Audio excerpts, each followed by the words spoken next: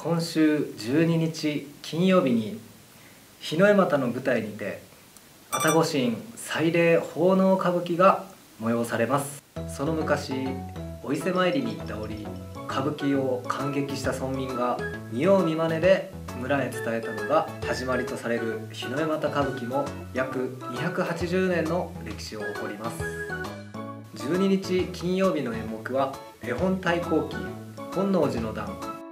田信長の本能寺での最後を物語っており家臣の森蘭丸を中心に描かれております。夜7時より開演観劇料は無料。夜は冷えるので温かいお召し物をお持ちになると安心です、えー、続きまして今月23日火曜日に尾瀬沼山口の山開きが行われます。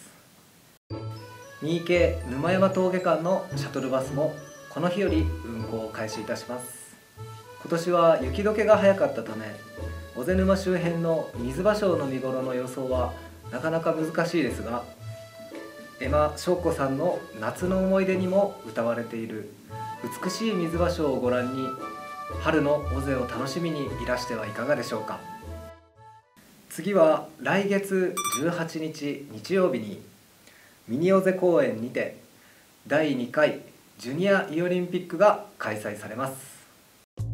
こちらはお子様向けの釣り大会で小学生未満小学生中学生の3つのクラスに分かれて釣り上げたイオの大きさで順位を競います。イオとは日の絵股でいうイワナのことです。大自然の渓流で親子で大物のイワナを求めて思い出に残る楽しいひとときを過ごされてはいかがでしょうか？お申し込みは尾瀬日の絵又温泉観光協会まで。どしどしご応募お待ちしております、えー、最後に日の絵又村の観光 PR キャラクター村ちゃんの T シャツが道の駅尾瀬日の絵又の山旅案内所にて販売開始されました。デザインは2種類。